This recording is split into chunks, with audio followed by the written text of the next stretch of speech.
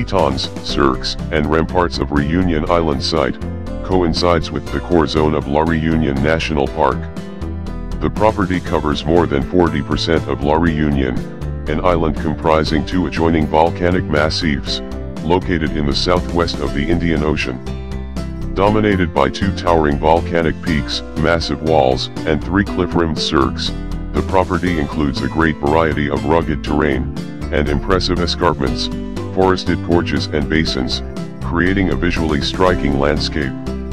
It is the natural habitat for a wide diversity of plants, presenting a high level of endemism. There are subtropical rainforests, cloud forests, and heaths, creating a remarkable and visually appealing mosaic of ecosystems and landscape features.